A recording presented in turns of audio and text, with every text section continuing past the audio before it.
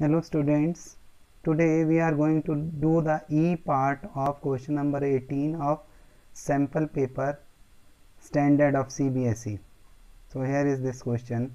Below you see a student's mathematical model of a farmhouse roof with measurements. The attic floor ABCD in the model is a square.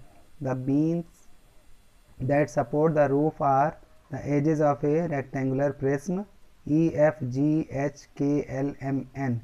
E is the middle of AT, F is the middle or midpoint of BT, G is the middle of CT and H is the middle of DT.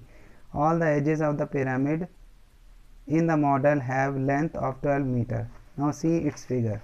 They have given here. This is the figure. And he is asking now in this part what is the length of EF where EF is one of the horizontal edges of the block. Four options they have given. Now let us see the front view of that figure.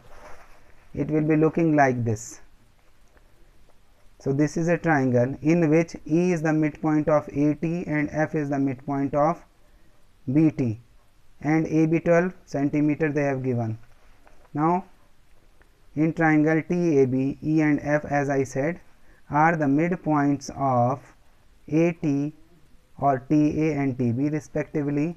Therefore, by midpoint theorem which we have studied in ninth class, if we join the midpoints of any two sides of a triangle, then that line segment will be parallel to third side and half of third side also. So, two results we can get from midpoint theorem. Here parallel is not required to check, only we will have to see if this is 12 so what will it will be? So as i said this line segment will be half of ab so according to the midpoint theorem's result ef will be half of ab and what is the measurement of ab that is 12 so 2 ones are 2 and it will be cancelled on 2 6 are 12 so ef will be 6 centimeter. That's why third option is correct.